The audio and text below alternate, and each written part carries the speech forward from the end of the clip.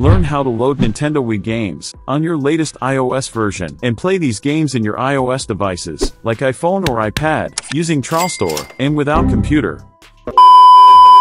First launch Safari, and on the search bar, type exactly what I am typing, which is Dolphin, iOS, GitHub.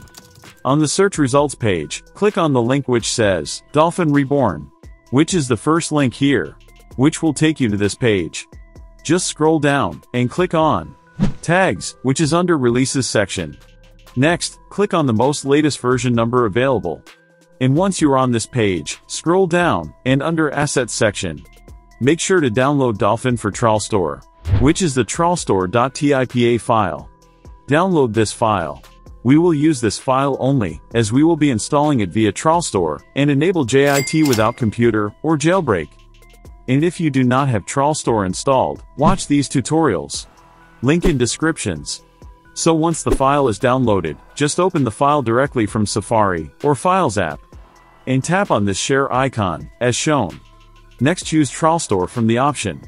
It will redirect to TrollStore app, just tap on install, to install Dolphin iOS in your device. Once the app is installed, make sure to launch and open Dolphin iOS once, as it will create necessary files in the background. Please do not skip this part, otherwise it might not work for you. Next, tap on this three-dot icon and perform an online system update. As you can see, the system update process has started. So let it finish. It will take a while to update the files, as you can see. Though I am fast forwarding it. Once the updation is complete, you must go to App Switcher. By swiping up from the bottom of the screen, and then, remove Dolphin iOS from App Switcher. Let me show you now, how to load Wii games to Dolphin iOS, for gameplay. Launch the Files app, and navigate to the location, where the downloaded game compressed file is located. I have already downloaded this, Wii game in zip file. Just tap on it to unzip and extract the file. The main game file is present, inside this extracted folder, as you can see from the video.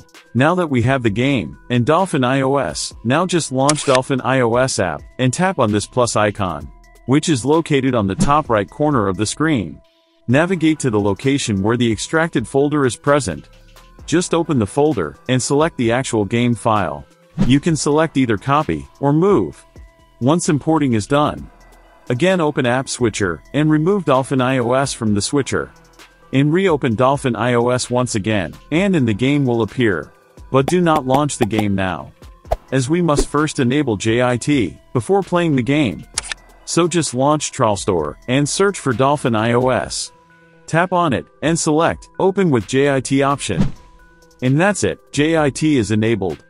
As you can see, the game is launched successfully, and as the JIT is enabled, it is working smoothly without any frame drops. You can change controller, save games, and load from last saved progress. Now if you want to install PPSSPP or RetroArch, watch the next videos.